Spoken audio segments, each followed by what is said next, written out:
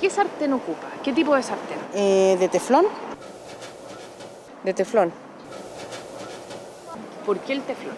Porque no se pega y es fácil de lavar. Son las sartenes más usadas para cocinar, antiadherentes y fáciles de limpiar, pero pueden dañar la salud si no se toman precauciones. La gripe del teflón es un concepto, es una frase que, que se utiliza para describir una sintomatología que está asociada al a la inhalación de los vapores desprendidos del teflón.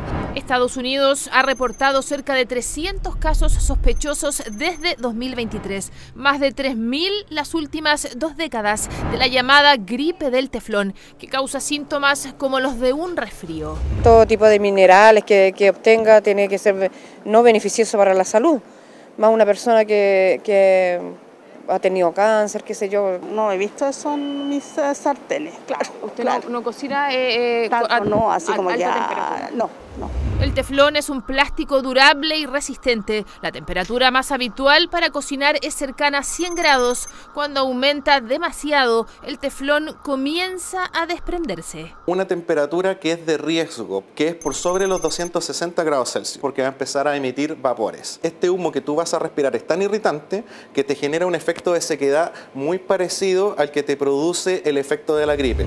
Fiebre, dolores de cabeza, escalofríos, problemas respiratorios. Por inhalar teflón, si se acumula en el tiempo, podría causar daños renales, incluso cáncer. De ahí la importancia de tomar precauciones y usar bien la sartén o cualquier utensilio que lo tenga. Uno no debiese alcanzar temperaturas peligrosas para el desprendimiento del material, al menos de que tú estés utilizando cantidades grandes de aceite y dejes esto descuidado. Esa es una mala praxis. Una mala praxis. Eso quiere decir que tú no lo estás haciendo de manera correcta.